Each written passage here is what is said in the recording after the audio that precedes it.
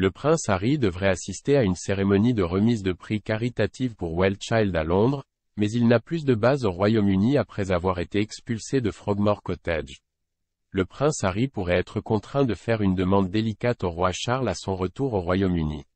Le duc de Sussex viendra au Royaume-Uni le 7 septembre, un jour avant le premier anniversaire de la mort de la reine Elisabeth II.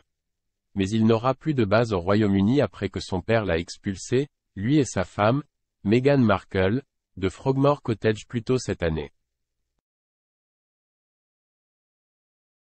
Et il devra probablement demander au monarque la permission de séjourner dans l'une des résidences de la famille royale, selon certaines informations.